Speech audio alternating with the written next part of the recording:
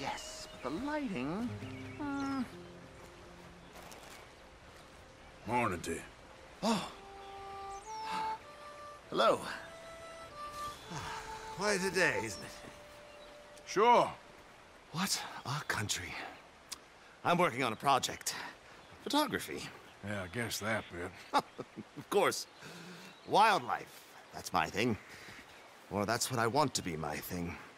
I have to take another picture of a grumpy hausfrau or pompous middle-class burgher, I will feed myself to the lions. Stand here. Here? Just... there. Albert Mason. Arthur Morgan. Pleasure. I'm trying to find and capture images of our great predators before our greatest predators kill them all and stick them on some clubhouse wall. Good luck with that. Yes, not the easiest. But, well, I love a challenge. The trick is to leave a big load of meat and relax and pray they don't mistake me for lunch. Oh! Good heavens! My bag! That thing is robbing me! Oh, good heavens! Don't worry. That thing is a coyote. Sneaky one, too. Wildlife photographer.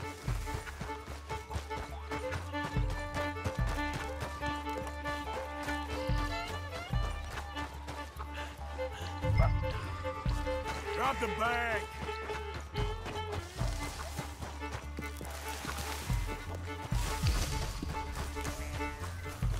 Leave the meat, mister. Leave! You don't want me chasing you. Kyle, heel! Damn you, bushy-tailed bastard! And Kyle, don't think about coming back.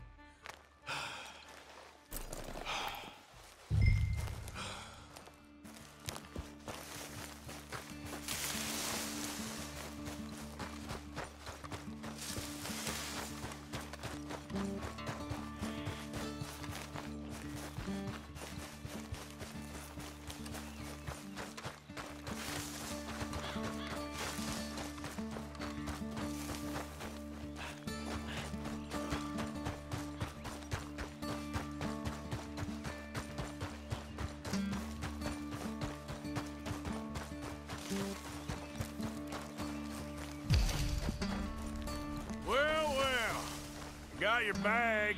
Oh, good, good. Please come here. Oh, thank you, thank you, sir.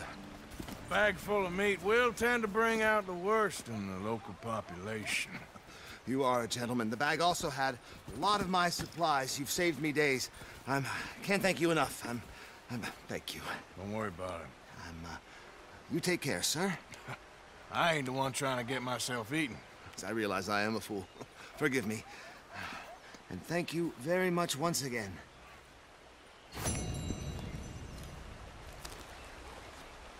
Look, you think maybe you should leave the wildlife photography to the fellers who know a little something about wildlife? If every great man had thought like that, there wouldn't be any great men. A little ignorance can go a long way. At least, that's what I tell myself. Or it can get you killed. But hey, good luck. Please, if I'm to attract any wildlife, I'll need some privacy.